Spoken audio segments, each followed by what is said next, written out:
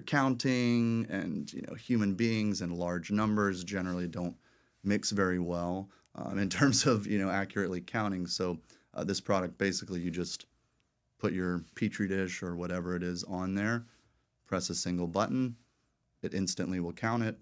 There is no number of colonies that's too large for this thing to count. So um, it's really interesting technology, but is pulling me out of the prestigious halls of Stanford and Harvard mm-hmm. and putting me, you know, on a manufacturing floor in a chicken processing plant or something like that.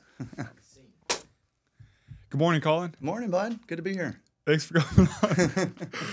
what do you do for fun when you're not actively managing a sales team? Yeah, so a number of things. Um, big part of moving back here was, you know, access to the natural beauty. Um, so we recently moved into uh, Old Town Daphne, um, and we have a our own little bay access down at the end of our street. So thank you for making the commute in this morning. Of course, yeah, it's you know a very short commute compared to uh, some of mine. Yesterday, let's see, I drove to Baton Rouge and back. Oh, had wow. a few meetings in between. Um, so yeah, short commute to get here. Um, but yeah, lots of uh, time watching sunsets on the bay, and then I do a lot of 3D printing just because it's you know a fun, tangible way to release uh, creativity um, and practical. What items do you like to print? It varies um, from like my wife had her coffee cup that didn't sit at the right angle under our coffee maker and would spill. So I just designed like a little wedge for it to sit on.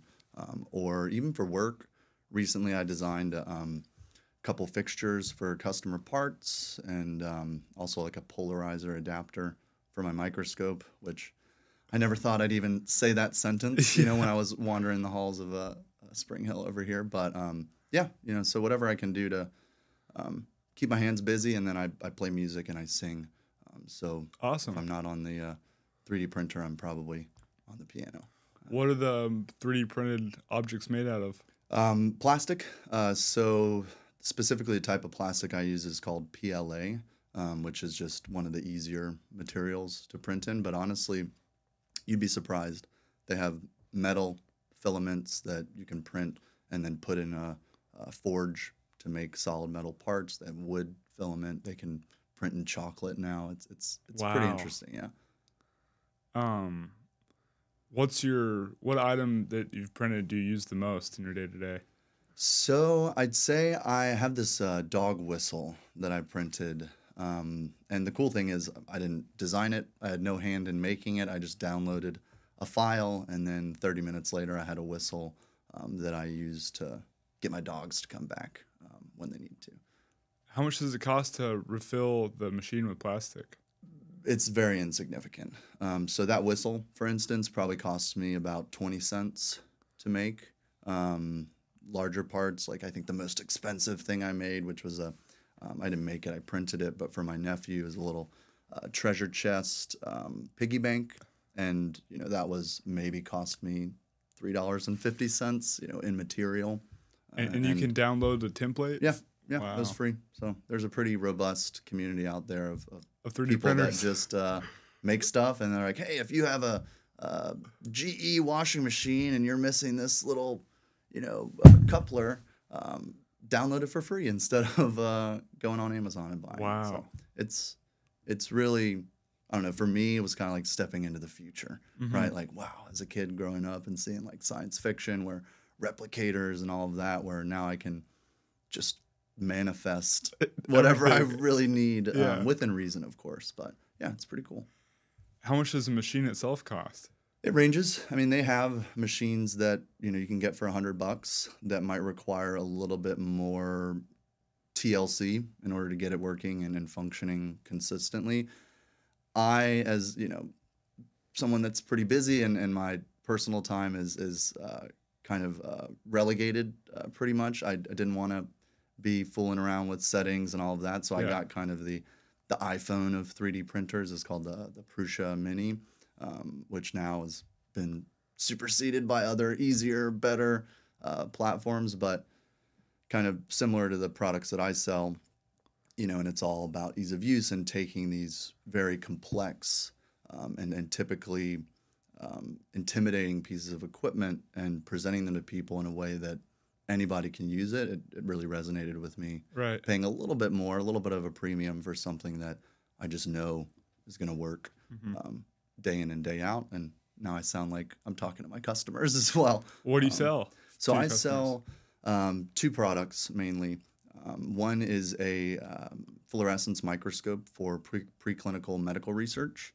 Um, so think cancer research, drug discovery, things like that, wound healing, um, just medical research at large. You'd be surprised, pretty much every facet is using microscopes at some point. Um, so they're you know not your classic like National Geographic kids microscope Right. that you're looking down. This is a um, ranges between about fifty thousand to two hundred and fifty thousand dollars. You hook it up to a big display, and basically, uh, kind of akin to the 3D printer, takes this thing that generally used to require a PhD in physics to to really master, and we have undergraduate institutions that use them. Um, Santa Clara University, my wife's alma mater, has two of them that I sold them on a little cart that they wheel around to different um, labs and hook it up to the projector so that the students can really kind of see their you know creations, if you will, which is you know, maybe a blood smear on a slide or something, uh, but in front of their classmates and and you know get that real time instruction that you wouldn't be able to get if you were saying, "Hey, professor, can you come over here and look through these eyepieces?" Yeah. and and you can't see what they see. So that's the one product, which is kind of more of the flagship. Is your target audience represent. primarily colleges and universities? Um, so it ranges. Um, when we launched the product, um, when I joined Keyence um, in 2015, so I started nine days after I graduated here. I left, flew out to California, went into training and, and started that. So, um, you know, I lost my uh, my train. What was that? Going into Cali for Keyence? But what was the uh, what was your question? Oh, um, the well, who's your target audience? Oh, yeah. So um, primarily, initially, it was academic research, right? So um, if you think about the field of biotechnology or pharmaceutical, you know, um, companies at large, generally, those people have to be trained somewhere, right? They're going to school to get their PhD at Stanford, Harvard, University of South Alabama, which is a customer of mine as well. Um, and then they either go into medical research professionally, you know, become a professor or um, what would be called a principal investigator, a PI, who's like the head of a research lab, um, or you go into industry. Um, companies like Genentech, uh, AbbVie, Merck, um, basically any pharmaceutical commercial that you see, it'll say the company at the bottom. Um, there's uh, a very small handful of large pharmaceutical companies, um, and a lot of these people go there. So they've used our system, you know, during their undergrad, during their postdoc, and then they go out into the real world, if you will, and um, they continue to want to use it. So over time, now it's um, primarily like preclinical, um, academic research, and then um, pharmaceutical companies, biotech, and then my other product, which is a whole different world that I got pulled into recently, which is um, like food and beverage manufacturing um, and environmental monitoring and that type of stuff. So our other product is a um, an automated colony counter for counting bacterial colonies. So let's say you're producing sweet tea, right? Um, you're going to want to make sure that when that product leaves your facility, there's not dangerous bacteria growing. Mhm. And the way that they have to test for that, which I guess I never really thought of, is they have a lab there and they're swabbing, you know, the machines and taking samples of the the tea after it's been bottled or whatever product, and then they send it to the lab and put it in an incubator and see what grows.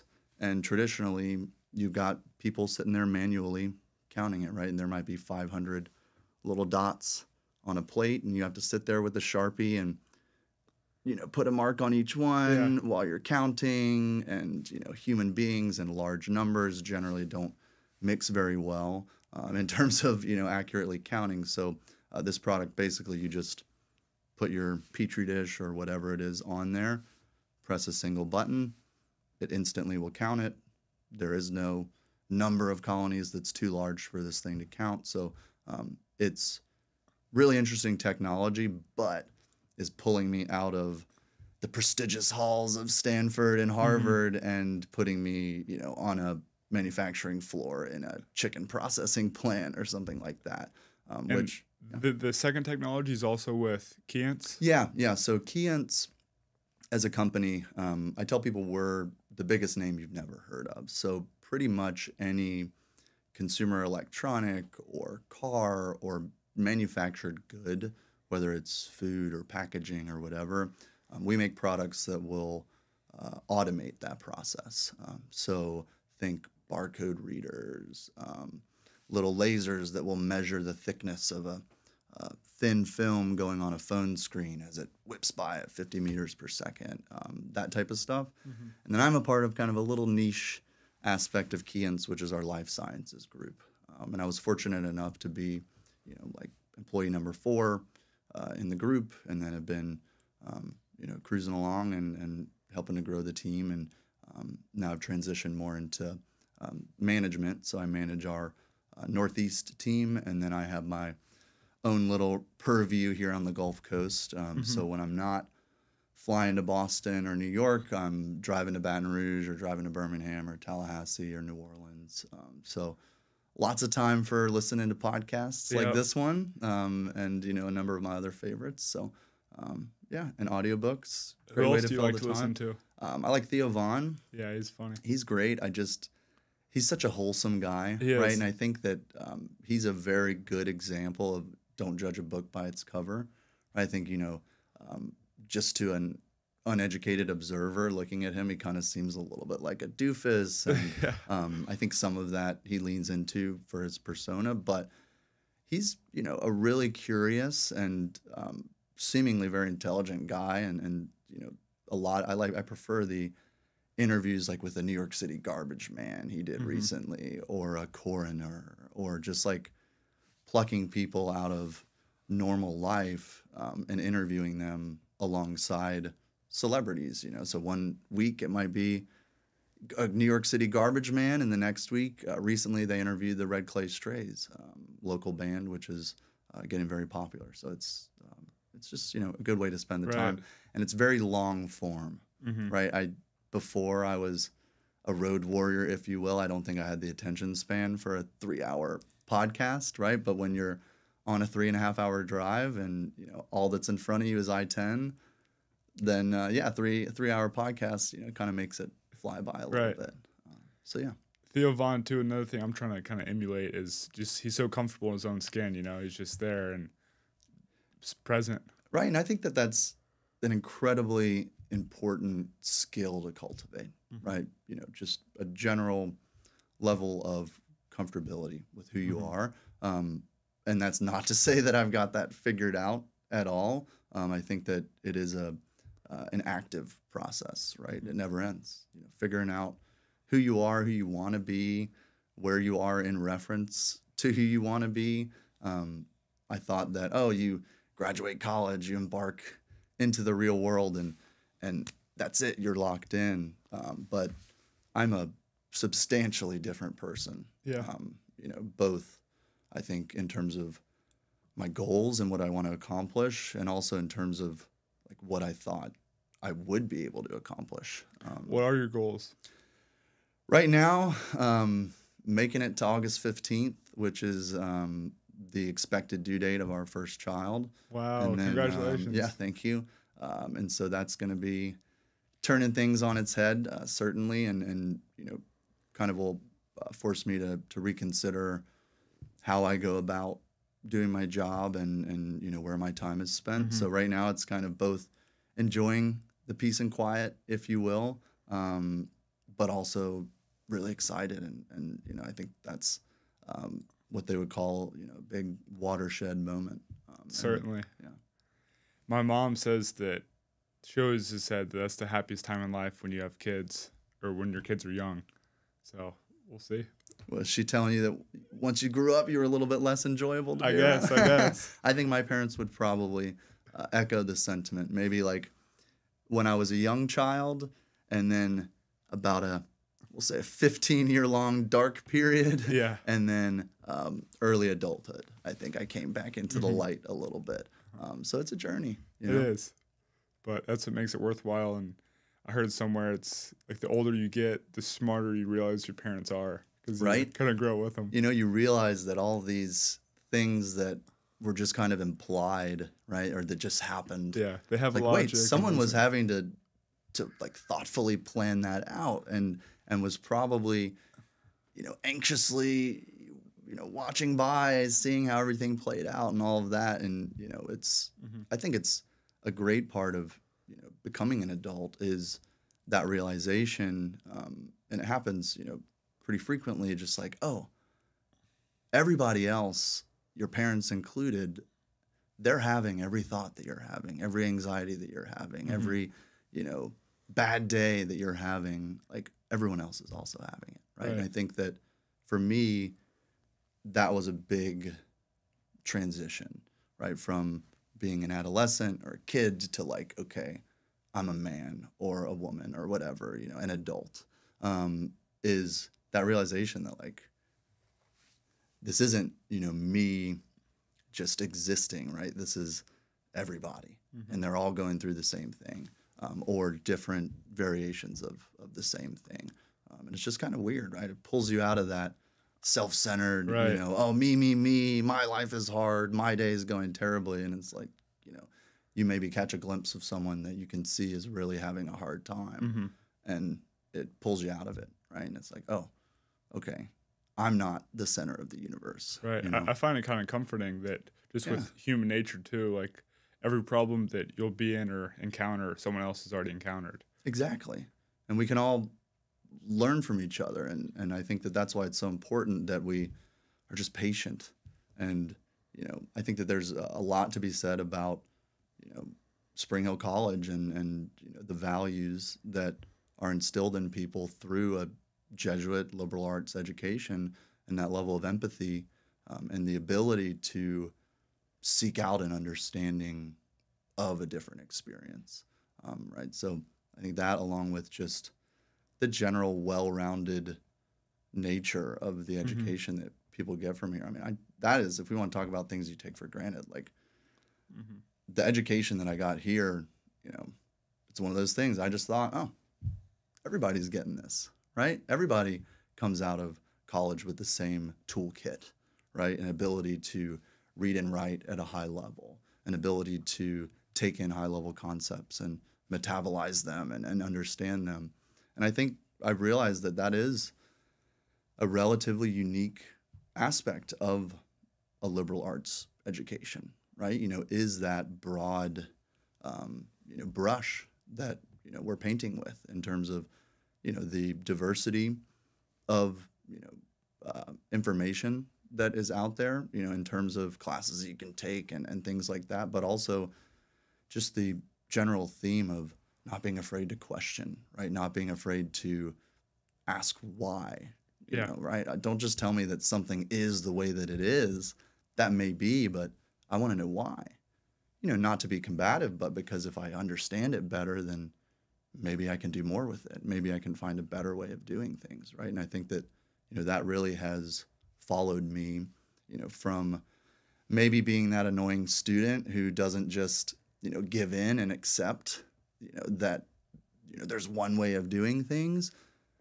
Now that's turned into, I think, one of my, you know, greatest attributes, which is, you know, constant questioning of is this the right way to be doing things? Right? I'm willing to just do something because I'm told to do it, but I'd like a conversation. I'd like some explanation and I'd like some input.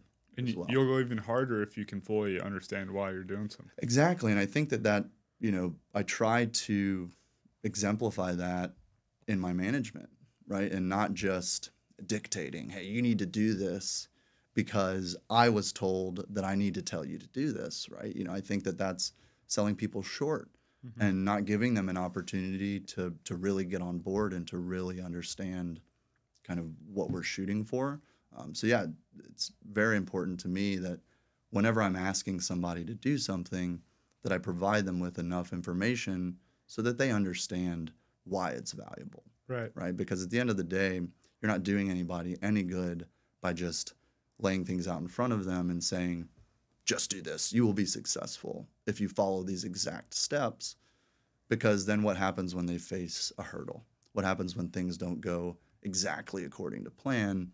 Then you have people that lack the ability to be dynamic, right? They don't have that critical thinking toolkit you know, that I'm referencing to allow them to navigate things that might be a little bit outside of you know what they were specifically prepared for. You know, Right. When you were, what did you study at Spring Hill? uh, accounting. So yeah, I made the uh, you know the natural leap from uh, an accounting degree to selling microscopes in the Yeah. medical research field. Right? Everyone does it. Huh? What were you planning to sell when you left Spring Hill and went to Keyence? Dude, I had no idea. Um, so, and I think that it might be good for people to hear, right? Like, up until, so I said I moved out to California nine days after graduation. Up until a month before graduation, I hadn't applied to a job. I had no idea what I wanted to do. I didn't know if I wanted to go get my master's in accounting and go the CPA route.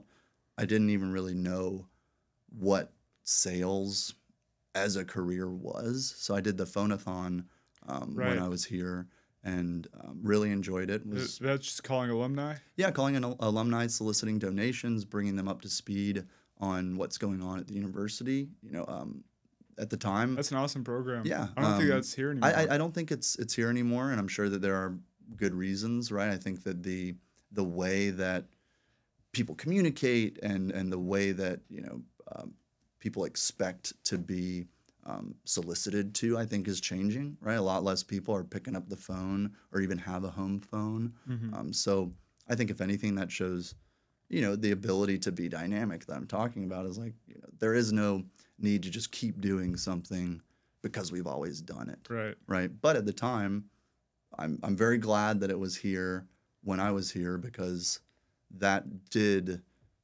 open up to me that like, oh, this is actually a skill, right? My ability to talk to people and to connect with them is a skill, is something that I can actually use as a career, um, right? And it took a little while. My mom, like, hey, you're calling people, you'd be good at sales. And I was like, what, sales? I immediately thought retail sales. Like, what, you want me to go work at Target? Because Yeah. I'm good at, yeah, I worked, I was a cashier at Publix. Yeah, I enjoyed that, but I don't think that I want to do that. Um, not that there's anything wrong with that, but I was like, sales, really, mom? And she's like, no, Colin, that's not sales, right?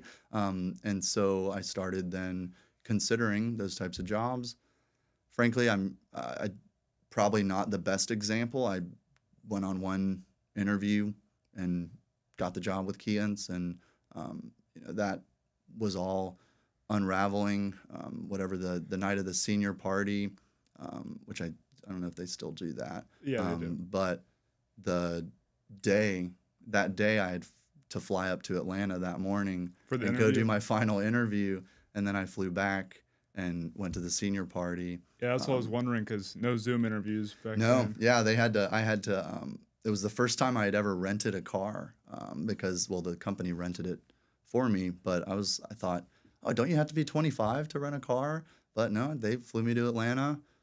I picked up my car, drove to the office. Um, you know, I, I don't even think I had um, like a unlimited data plan on my phone, so it was like I need to download Google, Ma- you know, the the route on Google Yeah. Maps, um, and then made it there, barely on time. Did my interview, drove directly back to the airport, and flew back uh, back here. And now, um, although my company still does do uh, in person interview days, so they'll fly people to Chicago for um, big recruiting days because I think it is valuable to sit across from someone and to to Mhm. talk with them uh, if you're given the opportunity. Um, but yeah, it was a, a whirlwind from there. And then um, the Monday after graduation, I got the call. Hey, you got the job, and I never even unpacked from uh, my dorm in Mobile Hall. I just uh, we say um, I shipped my pants um, to California because I did. I put tape on the box with all my clothes, just a big cardboard box when I was packing here, threw a UPS label on it, and shipped it to my hotel in uh, Southern California, and then that was it.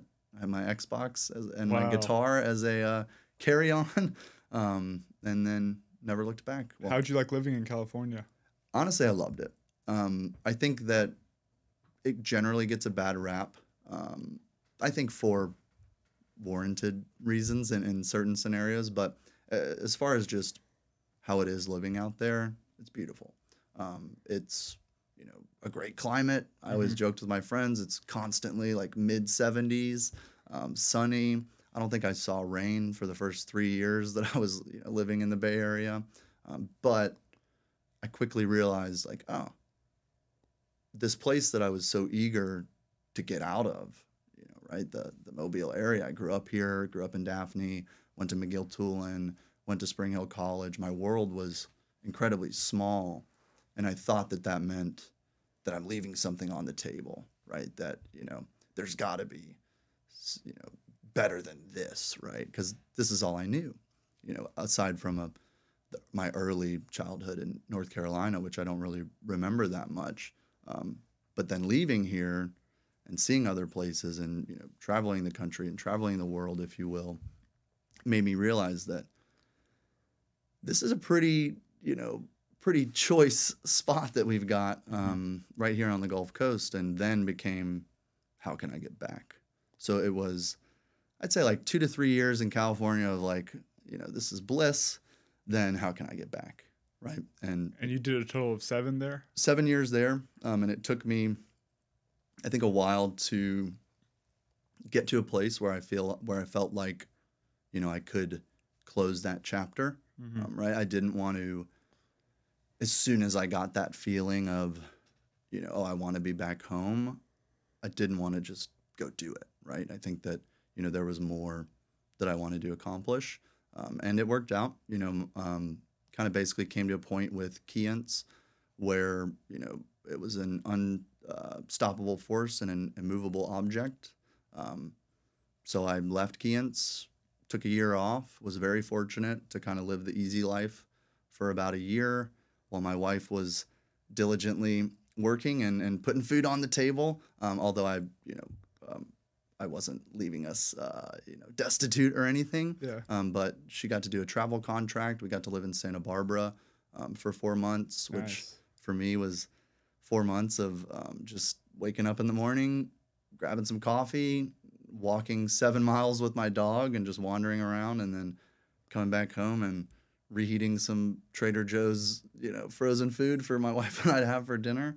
Um, it was fantastic, not sustainable.